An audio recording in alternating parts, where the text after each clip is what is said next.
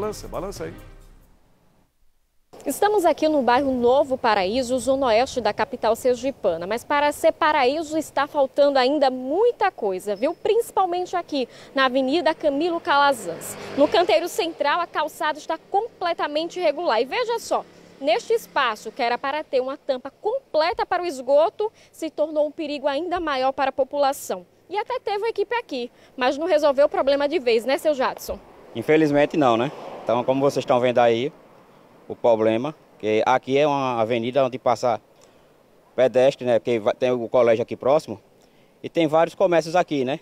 A Imub veio, né? Colocou a tampa, mas infelizmente, como vocês estão vendo aí, o, a obra de arte, né? Que eu posso dizer assim, aí é uma obra de arte da Imurb. Porque como é que vem fazer, trocar uma tampa e deixa a outra quebrada desse jeito, nessa situação? É toda a extensão da avenida, a calçada toda, toda deteriorada. Tem, inclusive tem tampa aqui na esquina que a gente passar tem que ter cuidado, porque ela está desnivelada. Fica tremendo na hora que a gente passa, arriscado o pessoal cair da, da, do esgoto.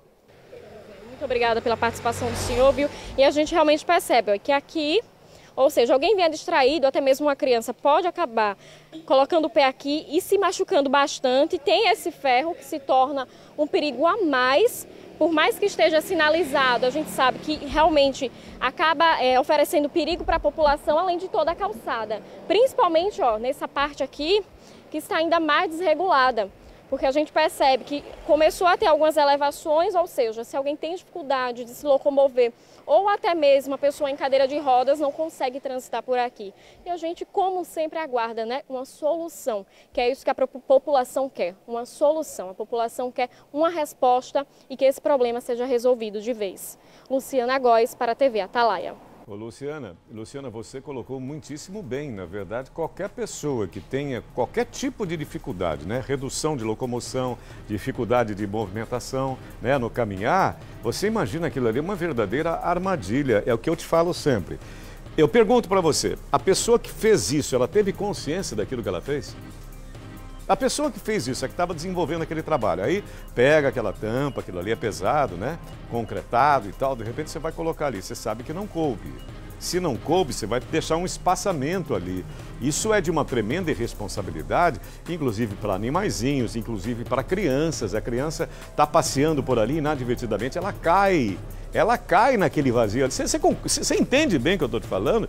Aí já é muita incompetência que beira, chega, aliás, beira não, é irresponsabilidade. Você não pode deixar aquilo ali daquela maneira. Você está entendendo? Você realizando o seu trabalho, você está promovendo o perigo, o perigo na própria uh, cidade, ali no, no próprio local ali onde as pessoas estão passando, numa calçada da cidade.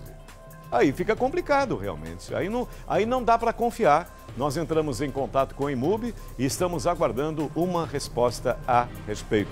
São 12 horas e 7 minutos.